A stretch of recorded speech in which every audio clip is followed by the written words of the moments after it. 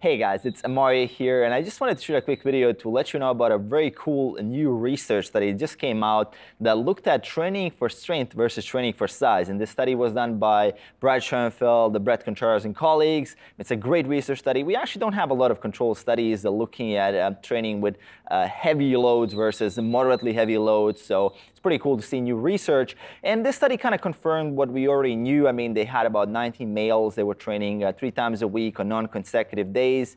And what they found is that those guys that were training uh, more in that range of two to four reps, basically very heavy loads, they'll get more strength gains versus guys who were training in those moderate repetition ranges, those kind of bodybuilding uh, style of workouts, 8 to 12, kind of the work that you would see a bro in the gym do most of the time. They got more size. And I mean, looking at comparing just the training volume, we can see why these guys got more size. I mean, they were doing double the volume. And if the heavier group was doing the same amount of volume, they would get the same muscle growth as well as more strength. That's something that Brad Schoenfeld already has done some research studies on, but of course, if we're looking at a time efficiency, doing sets of 8 to 12 would provide kind of the middle ground where you're getting that uh, volume in a very time efficient way, as well as, I mean, we're talking about uh, how less of an effect has it on your joints and all these other things. I mean, training with super, super heavy loads, it's not a very good idea when it comes to accumulation of volume that you need to grow.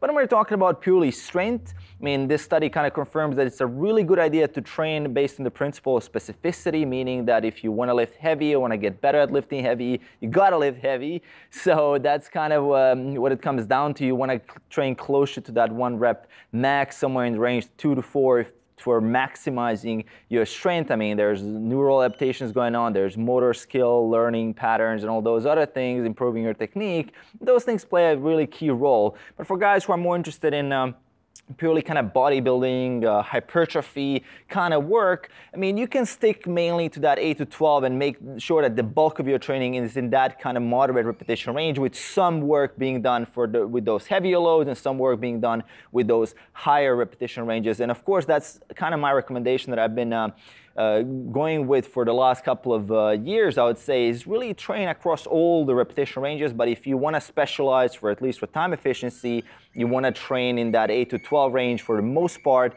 to get that necessary volume to grow. And this is something that I mean, this is not just my recommendation. If you look at guys like Eric Helms, if you look at guys like Brad Schoenfeld himself, I mean, we can see that uh, training across repetition ranges, uh, it's a really good idea to mix up all the repetition ranges so you're not kind of uh, doing only one thing. And even, I mean, high level powerlifters, they will still do some form of that moderate repetition when they need to grow muscle size because eventually, I mean, of course, you want to do that as well and not just train with super, super heavy loads. And what are some of the practical implications here? Well, for most bros in the gym, I mean, sticking with that 8 to 12 is completely fine. I mean, as long as you're hitting that proper range of motion, you're getting that volume, you're accumulating volume, enough volume to grow, that is completely fine, as well as it would be a good idea to, at least on occasion, include some uh, training with those heavier loads to really make sure that, that uh, you're maximizing strength gains as well. And this can be done either in within a week fashion, so something like daily undulating periodization. Let's say you have a heavy day on Monday,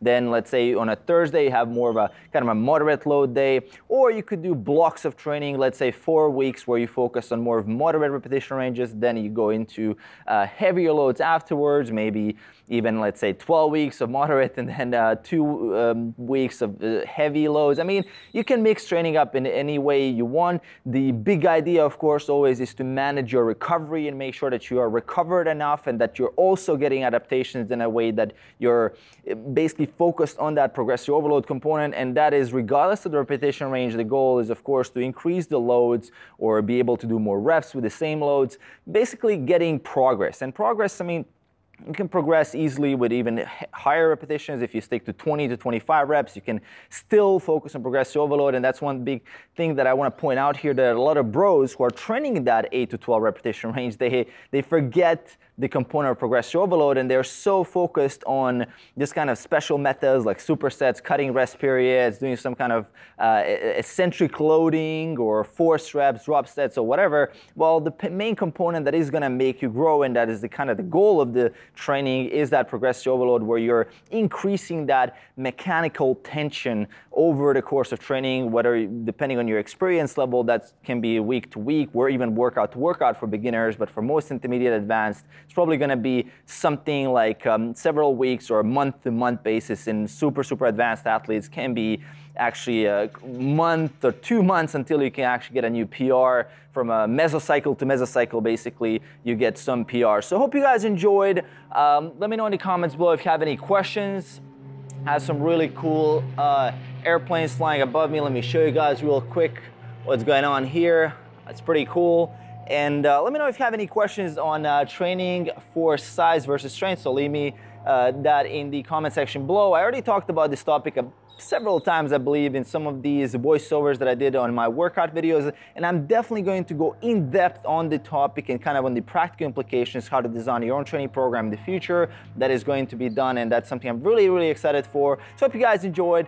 And as I said, leave your comments below. Make sure to hit that like button, hit that subscribe button below to support the channel. And I'll see you guys in the next video. Peace.